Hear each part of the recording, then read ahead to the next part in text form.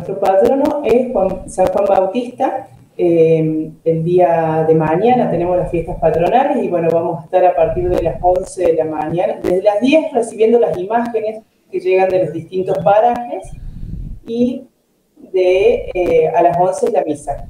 La misa después se hace a las 12 la procesión con desfile gaucho y a las 13 horas arrancamos con lo que es la peña en la plaza de No. Eh, eh, va a estar el grupo Intiguaina, Alma Luna, Unión Chavamecera y Esquejes. ¿Son todos artistas de allí, de la localidad, de la zona? Eh, tenemos dos artistas de la localidad y un artista que viene de Unquillo, Esquejes, el grupo Esquejes, y tenemos Alma Luna que viene de la localidad de Villa muy bien. Eh, bueno, o sea que a partir de mañana, por la mañana ya van a estar de patronales en la localidad para aquellos que se puedan llegar.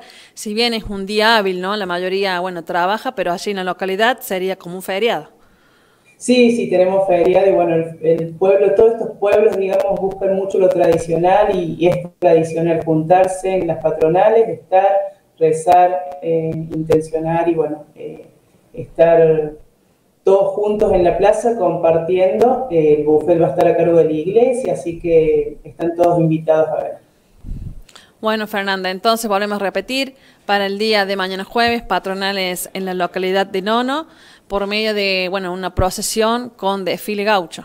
Sí, sí, están todas las agrupaciones de la zona invitadas, eh, así que, y gauchos independientes, se va a armar algo muy bonito, eh, bendición de estandartes, y bueno, eh, y después todo lo que es la peña, ¿no?